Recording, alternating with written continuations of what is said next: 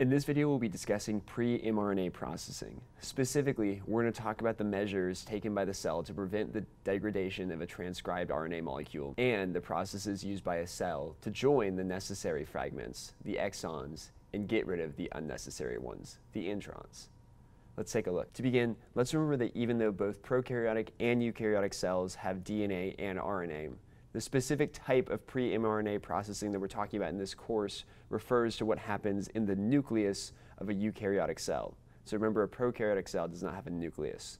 So the specific nuclear pre-mRNA processing that we are talking about in this course is referring to the RNA processing in a eukaryotic cell. So in mRNA processing, we're essentially preparing this molecule of RNA that we've transcribed to be transported out of the nucleus into the cytosol. If you remember back to the primary structure of RNA, you'll remember that an RNA nucleotide has a 2' prime hydroxyl group, meaning that in cytosolic conditions with certain enzymes and molecules present, RNA molecules are rapidly degraded because of this instability. To overcome some of these inherent instabilities and also to facilitate the binding of RNA to ribosomes during translation, several modifications are made. The first is the addition of the 5' cap. Shown here is the 5' end of an RNA molecule.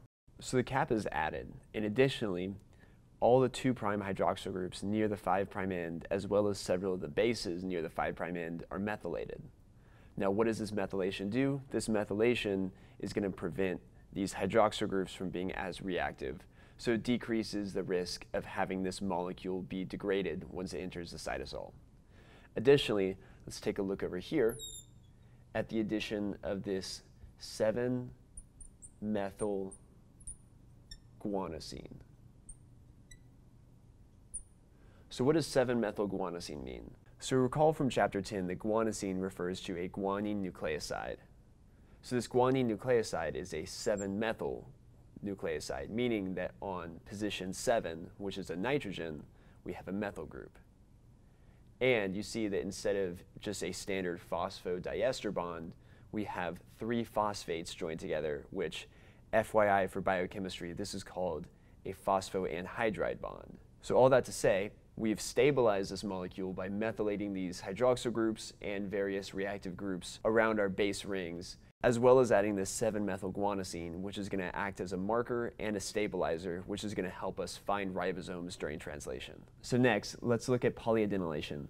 Polyadenylation is kind of like a different means to the same end as 5' cap addition, meaning that we are adding something to one of the ends of our mRNA molecule to increase its stability in the cytosol and to facilitate the binding to a ribosome and the stability of translation. In our freshly transcribed mRNA molecule, we're going to have a few important landmarks.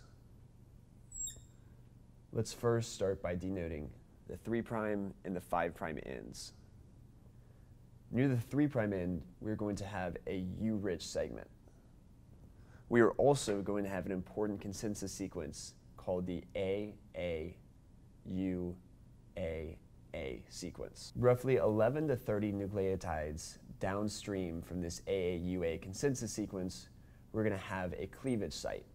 At this cleavage site, enzymes will come in and cleave off the 3' end of this transcript. And after we cleave this 3' section, to our new 3' prime end, we are going to add a segment of roughly 50 to 250 adenosine bases. A really easy way to remember the identity of this sequence is if you're having a really hard time studying and you just can't think of what it is, you can just go, ah, and then you know it.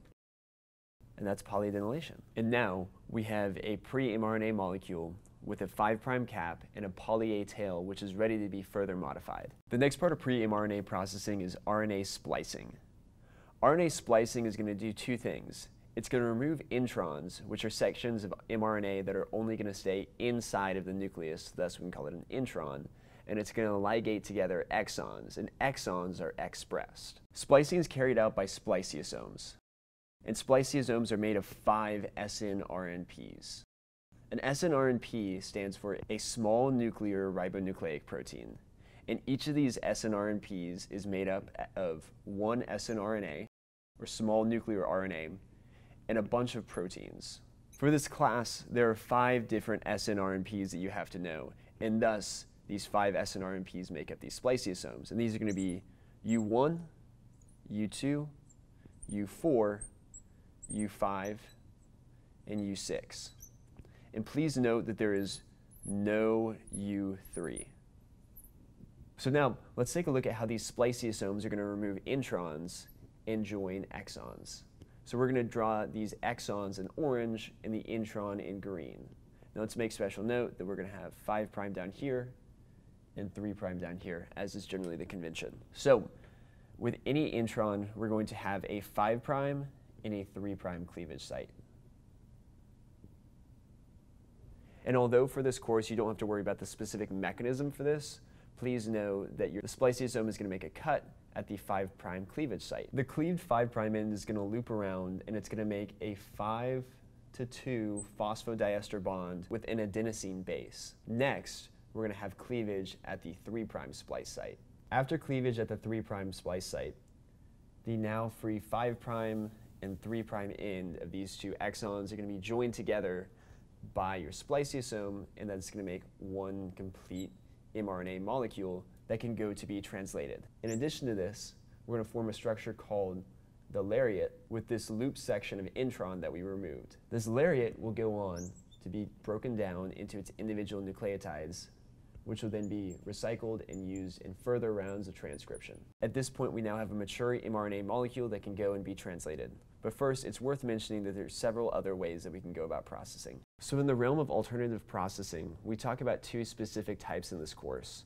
The first is going to be alternate splicing. With alternative splicing, we can have multiple different combinations with how we actually put together these exons after they're spliced. So we could just have the expected, where we have exons 1, 2, and 3 that come together. Or we could also have just exons 1 and 2, or exons 1 and 3, or so on. And so thus, from one single molecule of mRNA, we could get multiple different gene products. This can be useful to the body because it allows more adaptability with fewer genes. In addition to alternative splicing, we also have alternative 3' cleavage. In alternative 3' cleavage, we could have multiple different cleavage sites at the 3' end. Thus, during polyadenylation, we could actually form multiple different products.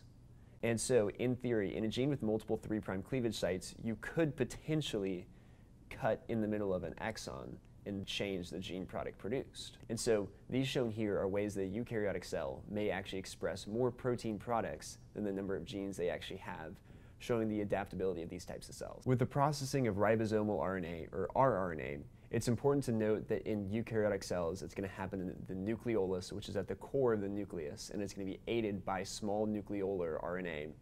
And in prokaryotes, it's going to happen in the cytosol because they don't have a nucleus. RNA is measured in Svedbergs. Svedbergs are a unit of weight that describes fractionalization, but they don't necessarily add together to give the mass of these ribosomal subunits. For example, in a prokaryotic cell, you'll have a large 50S subunit and a small 30S subunit. However, the entire complex is called the 70S complex. In eukaryotes, you have a 40S small subunit and a 60S large subunit, and these come together to form the 80S complex. With tRNA processing, the majority of it is going to happen on the anticodon arm, and other things that may happen to it is you may add rare bases or modify bases. I hope you found this video really helpful. The concepts and information presented in these videos will be true no matter what genetics class you are taking. However, the concepts presented in this video are referencing material currently covered in Baylor University's coursework. Remember, if you are currently enrolled as a Baylor student, we offer free tutoring services. Our tutoring center is located on the first floor of the Sid Richardson building. You will find all the details you need to know about these services on our website, www.baylor.edu/tutoring. You may schedule a free 30-minute one-on-one tutoring session online through Navigate or just drop in during our open business hours. For more information about our current services, please visit our website. Thank you.